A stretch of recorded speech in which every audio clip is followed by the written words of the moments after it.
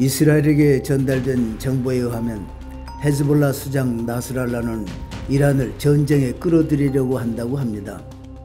미군 이 같은 움직임이 전면전으로 전환될 수 있다고 평가하고 미국이 이란의 공격을 저지할 준비를 하라고 요구하는 동시에 이란에게도 전쟁의 개입을 막겠다는 강력한 메시지를 전달했습니다.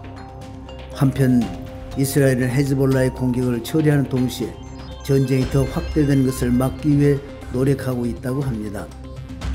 IDF는 화요일 정오쯤 레바논 베이루트 다하 지역에서 표적 공격을 가해 아부 무사로 알려진 헤즈볼라 미사일 부대의 수장인 이브라임 쿠베시를 제거하고 그와 함께한 참모들도 제거했다고 IDF 대변인이 밝혔습니다.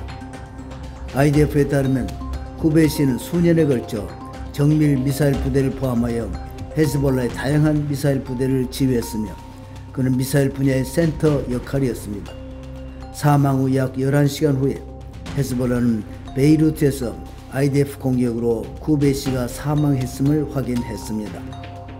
오늘 아침 텔라비브, 구시단, 네타냐, 샤론의 여러 정착지에서 경보가 울렸습니다.